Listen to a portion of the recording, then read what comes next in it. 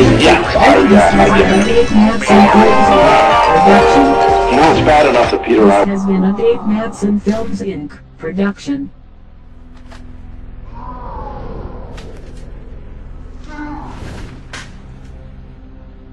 Oh.